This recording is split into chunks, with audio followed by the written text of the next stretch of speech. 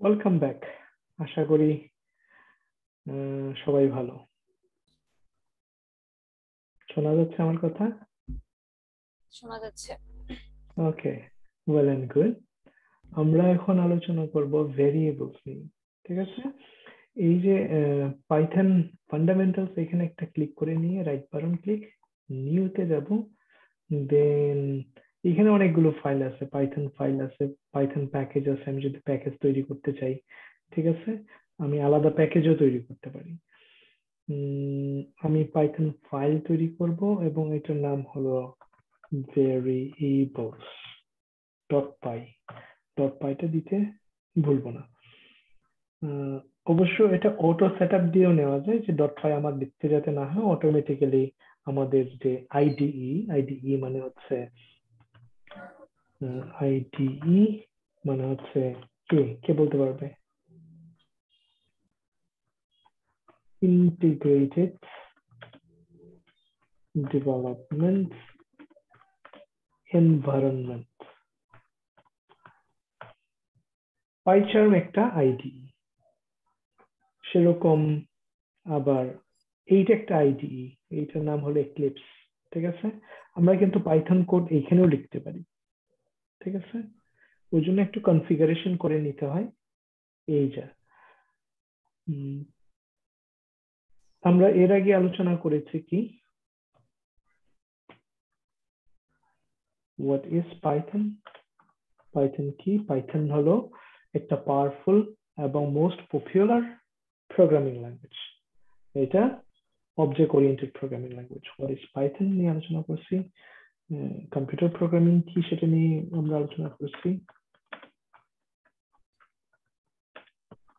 প্রথম পর্বে আমরা এইগুলো নিয়ে আলোচনা করেছি। দ্বিতীয় পর্বে আলোচনা করেছে এবং এখানে আলোচনা করেছে ওয়াই পাইথন পাইথন কেন শিখব? পাইথন কেন শিখব? কারণ পাইথন দিয়ে অনেক স্কিল ডেভেলপ করা যায়। এবং প্রত্যেকটা স্কিলের জন্য পাইথনের যে জবগুলো রয়েছে জব মার্কেটে তার হিউজ একটা ডিমান্ড আছে। পাইথন ডেভেলপমেন্টে তাদের স্যালারি এই পঁচাত্তর থাউজেন্ড ডলার থেকে শুরু হয় hundred thousand dollar to hundred thousand dollar যত অভিজ্ঞতা বাড়তে থাকে, তত তাদের স্যালারি বাড়তে থাকে। পাইথন ওয়েব অটোমেশন ইঞ্জিনিয়ার যারা সেলিনিয়াম উইথ পাইথন শিখে, তাদের স্টার্টিং এ শুরু হয় হান্ড্রেড ফাইভ কে থেকে, ঠিক আছে? ওরকম পাইথন শিখে যারা ইথিক্যাল হ্যাকিং শিখে, তাদের স্যালারিও এরকমই। পঁচাত্তর থেকে শুরু করে দুই তিন লাখ ডলার পর্যন্ত হয় প্রতি বছর। ঠিক আছে? ওয়াই পাইথন তারপর what Python is used for? কেন ব্যবহৃত হয় সেটা আমরা শিখেছি, দেখেছি। দেন আমরা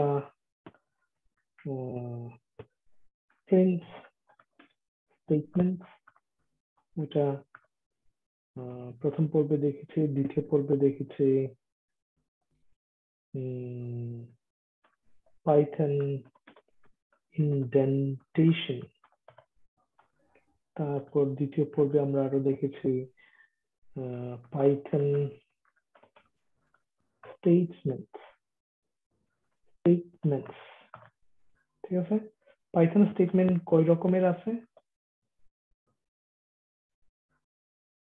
মনে আছে?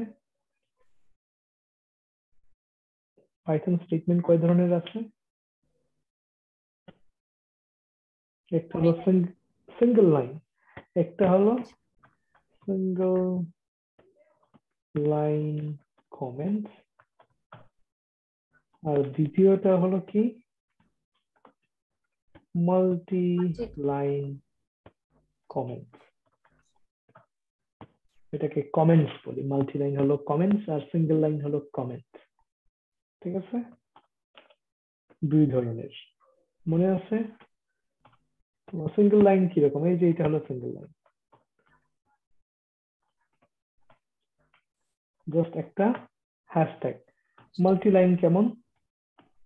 তিনটা তিনটা কোটেশন ওপেনিং ট্যাগ একটা হলো ক্লোজিং. ঠিক আছে? এর ভেতরে যা লিখব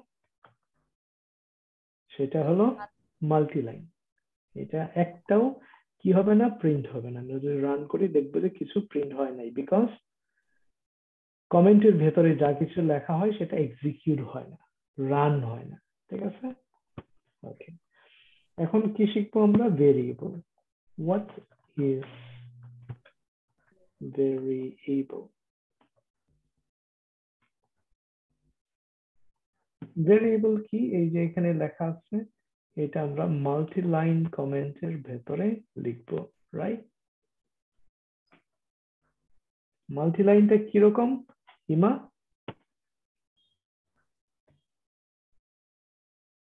হ্যাঁ দাদা। মাল্টি লাইন কমেন্টটা কীরকম হবে? কমা তিনটা হবে। তিনটা ইনভার্টেড কমা রাইট উপরে তিনটা নিচে তিনটা মাঝখানে আমরা যা কিছু হ্যাঁ, লিখব একাধিক যদি লাইন লিখি। ভেরিয়েবলটা কি? What is variables variables are containers for storing data values just একটা কন্টেনার জাস্ট একটা বাক্সের মতো। যেখানে আমরা কিছু জমা রাখতে পারি। যেমন আমাদের মানি ব্যাগ মানি ব্যাগের মধ্যে আমরা ক্রেডিট কার্ড রাখতে পারি ডেবিট কার্ড রাখতে পারি ব্লেড রাখতে পারি, ছুরি রাখতে পারি, ঠিক আছে?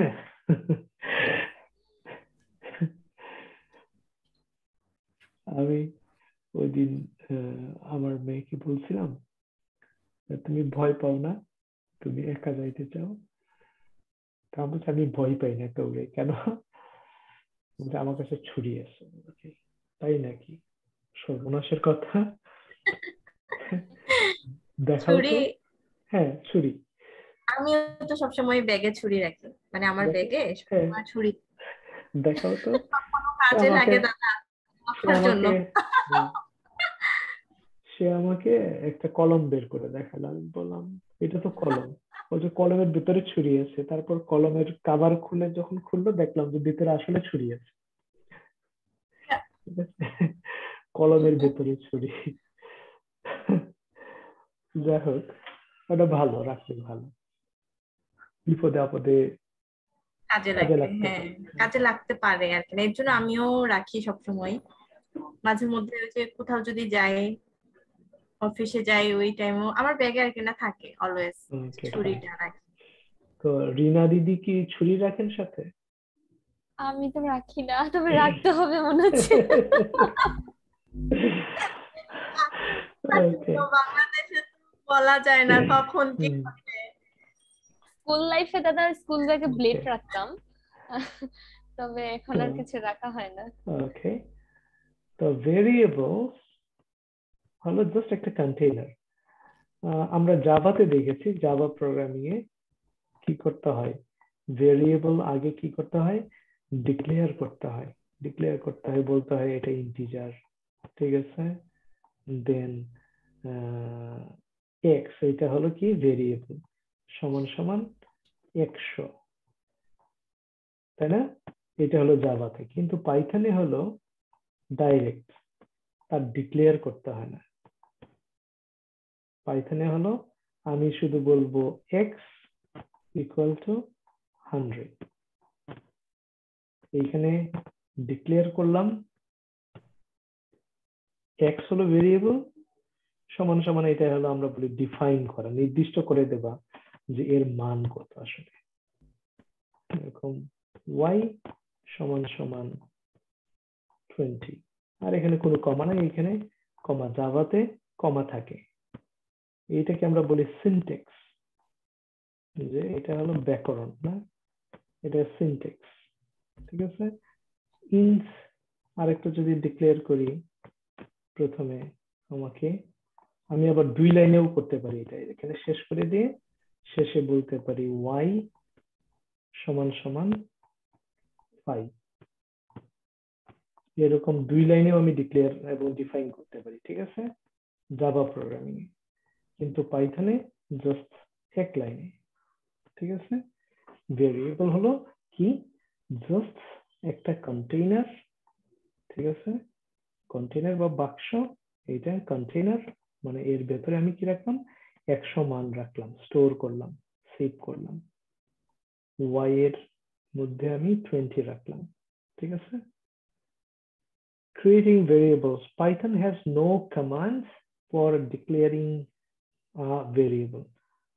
Variable declare করার জন্য কোনো কমান্ড লাগে না। যেমন এখানে ইন্টিজার আমার প্রথমে লিখে নিতে হলো। ডেটা টাইপ আমার উল্লেখ করতে হচ্ছে। এখানে কিন্তু ডেটা টাইপ এটা ইন্টিজার আমার ইন্ট লিখতে হয় নাই। আবার স্ট্রিং লিখব। আমি যদি বলি এফ নেম মানে হলো ফার্স্ট নেম আমি বলব হিমা রাইট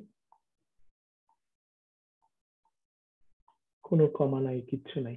কিন্তু এইখানে যদি জাভাতে যদি বলি, তাহলে আমাকে বলতে হবে কি? প্রথমে বলতে হবে স্ট্রিং নামটা হবে হলো কম্বিনেশন অফ নেম সমান সমান রিনা তফাৎটা বুঝতে পারতেছি? তো পাইথনটা মোর ইজিয়ার ফ্লেক্সিবল এটা একটা কমপ্লেক্স ঠিক আছে? কাজে এখানে কোনো কমান্ড দরকার নাই কিছু দরকার নাই, সরাসরি আমরা ডিফাইন এবং ডিক্লেয়ার একসাথে করতে পারি। Variable is created the moment your you first assign a value value assign করার সাথে সাথে ভেরিয়েবল ক্রিয়েট হয়ে যায়। আর এখানে প্রথমে ডিক্লেয়ার করে নিতে হয় দেন ডিফাইন করতে হয়। এখানে দুইটা কাজ। এটা হলো ডিক্লেয়ারেশন ডিক্লেয়ার করলাম প্রথমে দেন ডিফাইন করে দিলাম ওয়াই সমান সমান কত। আর ওইটাই এক লাইনে এরকম করে লিখতে পারি। ডিক্লেয়ার এন্ড ডিফাইন আর এখানে ডিফাইন এন্ড ডিক্লেয়ার একসাথে। ঠিক আছে? এই জন্য আমাদের কোড কম লিখতে হয়। ক্লিয়ার ওকে ফাইন তাহলে আমরা এখন যদি বুঝে থাকি, আমরা থিওরিটা বুঝলাম। ভেরিয়েবল হলো জাস্ট একটা কন্টেনার যে ডেটা স্টোর করতে পারে, যে কোনো ধরনের ডেটা স্টোর করতে পারে, সেটা ইন্টিজার হতে পারে, সেটা নাম্বারও হতে পারে রাইট ওকে এবার আমরা দেখব, বললাম এ ইকুয়াল টু এটা কি variable a equal to five thousand তাহলে বি ইকুয়াল টু ধরলাম one thousand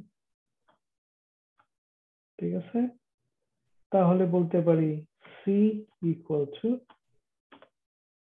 a plus b এবার এ প্লাস বি এর যোগফল কি প্রিন্ট করব? সি প্রিন্ট করলে আমরা পেয়ে যাব, তাই না?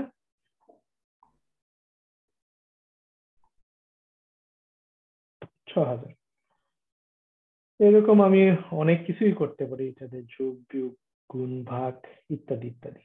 ঠিক আছে? পাইথন যোগ ভাগ গুণ বিয়োগ করতে পারে।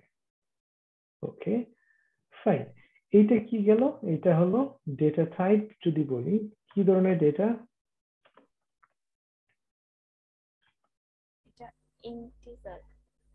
এটা হলো ইন্টিজার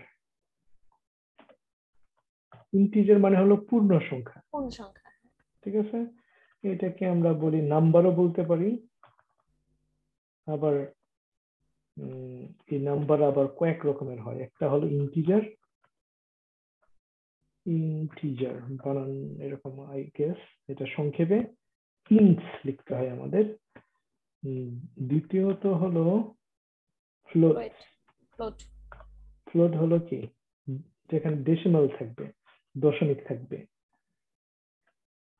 যেমন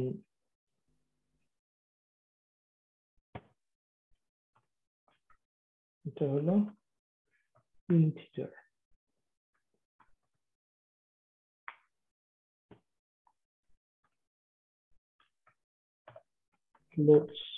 ফ্লোটিংও বলে এটাকে।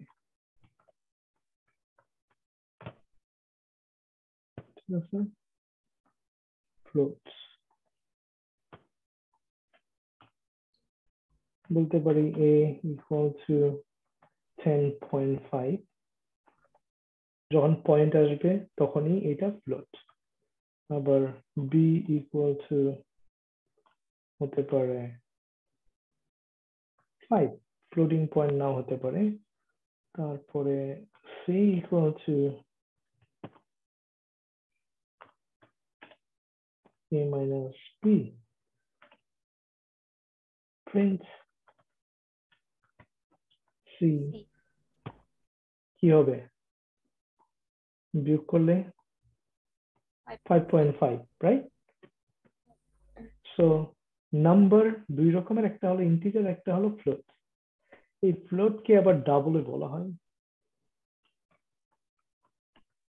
পাইথনে কিন্তু ফ্লোট এবং ডাবল একটু আলাদা। বিশেষ করে জাভাতে ফ্লোটের পরে এফ লিখতে হয় ডাবলের ক্ষেত্রে লিখতে হয় না, ঠিক আছে? বাট পাইথনে আমরা ফ্লোট ডাবল একই ক্ষেত্রে ব্যবহার করি। ফ্লোটটাই ব্যবহার করি, আমরা ডাবলটা ব্যবহার করি না ওকে দেন আরেক ধরনের ডেটা টাইপ আছে কি? স্ট্রিং মানে ভেরিয়েবলটাও স্ট্রিং ভেরিয়েবল হতে পারে। ঠিক আছে? ডেটা টাইপের কথাও আসতেছে। পরে আমরা ডেটা টাইপ সম্পর্কে আরও বিস্তারিত আলোচনা করব।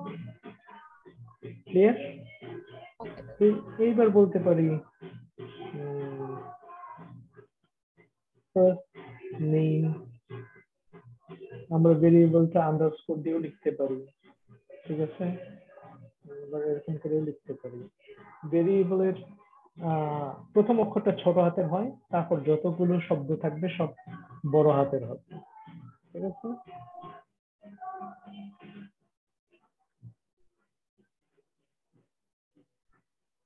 হিমা ফার্স্ট নেম হলো হিমা লাস্ট নেম হলো।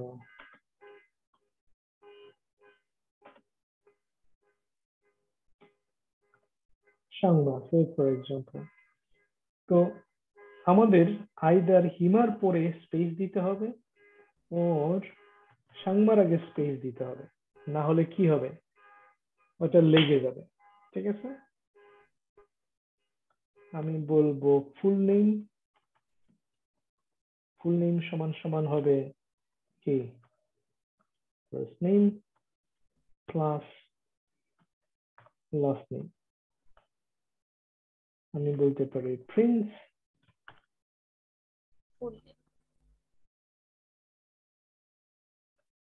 my sister's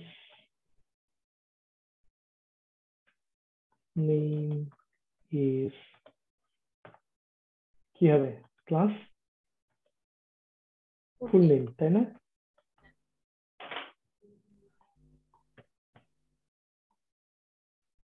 My sister's name is Hima Sharma কিন্তু এইখানে যদি আমি এরকম গেট না রাখতাম, তাহলে কি হতো? হিমা এবং সাংমা লেগে যেত।